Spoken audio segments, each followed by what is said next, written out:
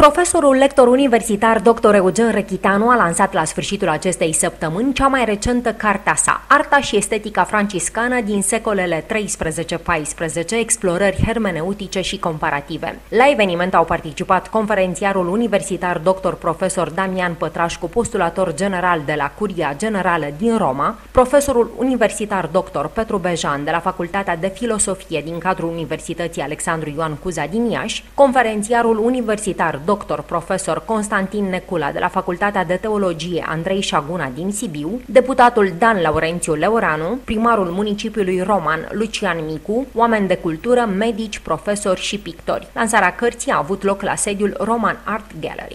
Cu noi este Dumnezeu,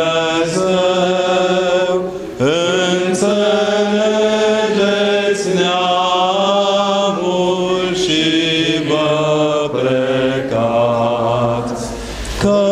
căci cu noi este Dumnezeu. În deschiderea evenimentului a luat cuvântul fostul primar al municipiului Roman, Dan Laurențiu Leoranu, actual deputat în Parlamentul României și cetățean de onoare al orașului nostru. Uitându-mă prin, prin cartea pe care astăzi o va lansa, îmi aduc aminte multe din discuțiile pe care le-am purtat și din materialele adunate la un moment dat, sub formă de manuscris sau de fotografii. Îl fericit că, iată, a ajuns la un capăt de drum pe un proiect. Îi urez succes în cele viitoare. La lansarea de carte a profesorului lector universitar dr. Eugen Răchitanu a fost prezent și actualul primar al municipiului Roman, Lucian Micu. Edilul local a felicitat publicul romașcan pentru participarea la acest eveniment. Asistăm la un eveniment într-adevăr deosebit, dar în același timp faptul că la Roman există interes pentru acest gen de manifestări și iată că Romanul, pe lângă infrastructura modernă pe care o oferă, pe lângă serviciile publice competitive, reușim să creăm și o diversitate din punct de vedere artistic și cultural, iar prezența dumneavoastră astăzi aici garantează acest lucru. Conferențiarul universitar dr. profesor Damian Pătrașcu a participat la lansarea cărții în calitate de coleg, prieten și colaborator al profesorului Eugen Răchitanu. De altfel, el a și prezentat motivele pentru care a venit în orașul nostru. În primul rând, legătura de frate, nu de sânge, ci de spirit, care mă leagă de autorul acestei cărți, Părintele Eugen, o legătură care cred că primiază asupra tuturor celorlalte motive pe care le voi expune în continuare. în al doilea rând, pentru faptul că mai mulți ani de zile am avut prilejul să împărtășesc viața academică împreună cu Părintele Eugen la Institutul Teologic de aici din localitate, fapt care m-a făcut să văd bine, direct și nu din auzite, cine este acest profesor de artă, îndrăgostit de acest domeniu al științelor, artele, atât pentru sine, cât și pentru alții. Aici, la Institut, prin transmiterea față de tinerii învățăcei, prin predare și cercetare.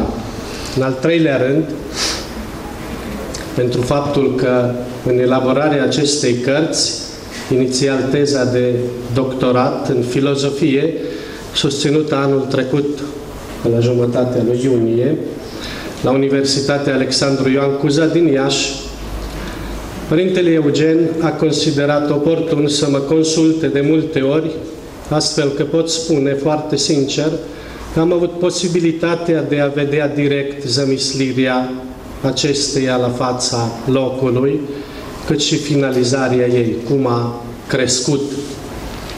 În ultimul rând, și sintetizând toate motivele de mai sus,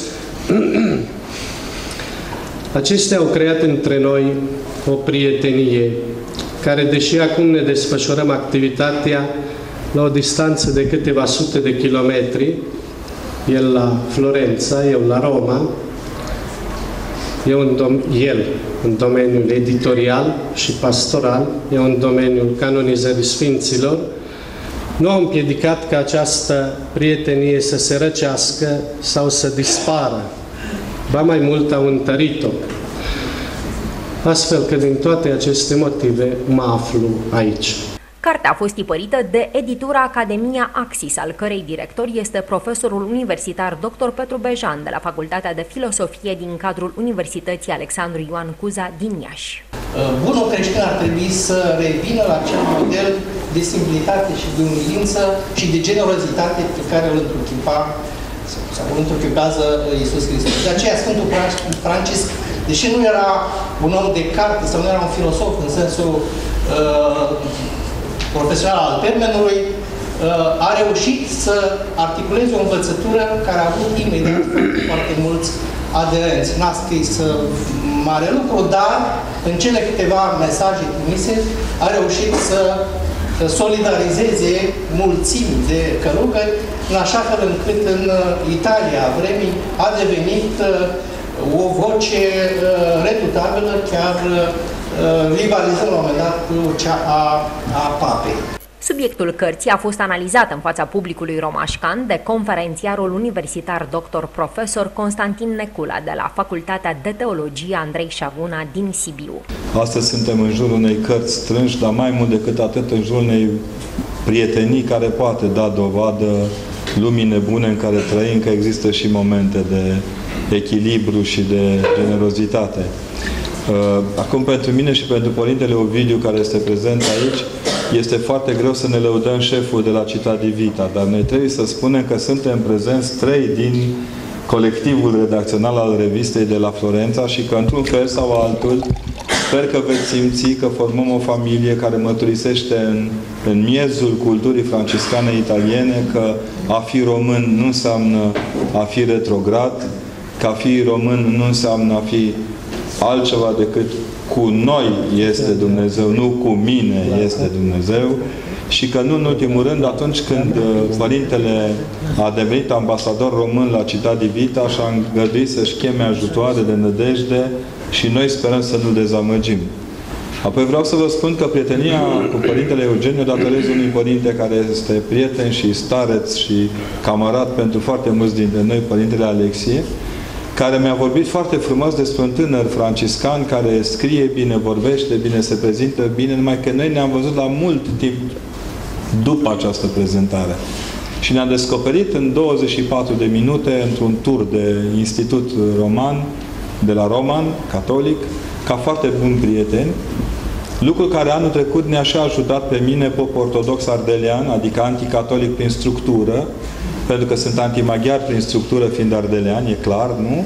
Să descoper o altă față a catolicismului și să descoper, nu în ultimul rând, o altă față a culturii catolice care poate veni astăzi în întâmpinarea dezechilibrului care se manifestă în țară, uneori în propria mea biserică și uneori în propria mea cultură.